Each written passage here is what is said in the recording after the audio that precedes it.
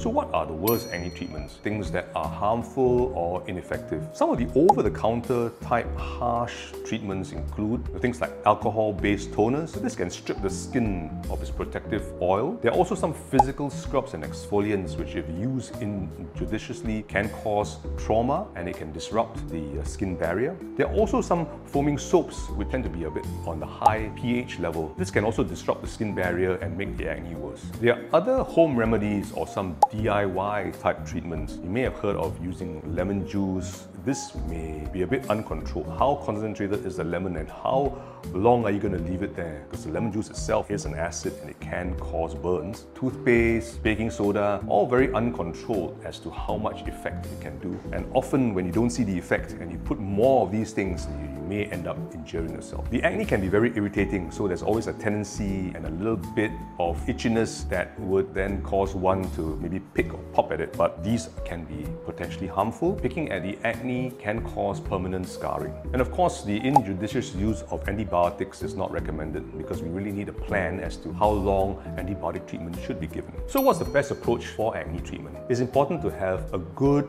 gentle exfoliant, something that is mild and gentle for the skin. Also important to then think about doing an in-clinic treatment for a simple thing as a medical facial, which would be done in a controlled setting to make sure that your skin is looked at properly and that the treatment is not overly harsh. Any form of extraction that would not cause any form of scarring. Other in-clinic treatments would then include things like laser therapy or using RF microneedling. All this are helpful to not only treat the acne, but the acne marks as well as acne scars as well. Ultimately, if your acne is persistent, you might want to then look for any hormonal changes that might be responsible for this. And we just want to make sure that you are avoiding any harsh cleansers, scrubs that may disrupt your skin barrier.